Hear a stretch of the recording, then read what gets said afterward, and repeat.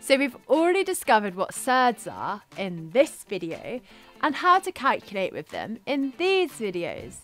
We're now going to look at the final piece of the surds puzzle at what rationalising the denominator is.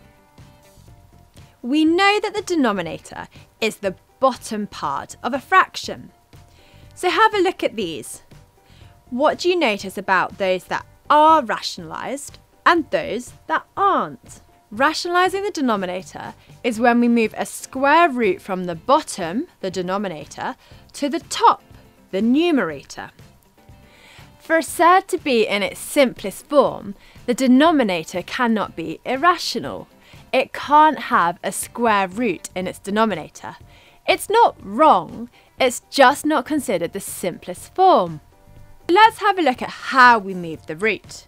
Multiply both the top and bottom by the root, and we get 1 multiplied by root 2, which equals root 2, and root 2 multiplied by root 2, which is 2, because the rules of surds means that we do 2 times 2, which is 4, and the square root of 4 is 2. You can check this yourself on your calculator. Type in 1 over root 2, press equals, and the calculator will rationalise it for you. But this won't get you marks in your exams. You've got to show the working but do use it just to check yourself. So here's one for you to do. Rationalise this fraction.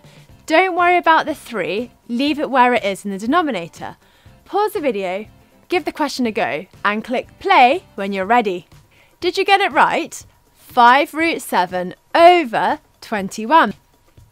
So let's have a look at a trickier example. I'll do the first bit for you to get you started. We need to multiply by the whole of the denominator, but change the sign. So think of expanding brackets and the difference of two squares. We would get a squared plus ab minus ab minus b squared, and the plus ab and minus ab would cancel each other out, leaving us with just a squared minus b squared. This is exactly what we want to do here.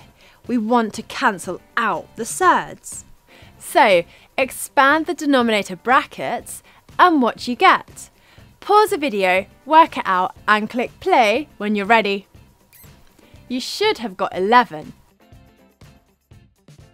So going back to the question, we can simplify by expanding brackets and we get this.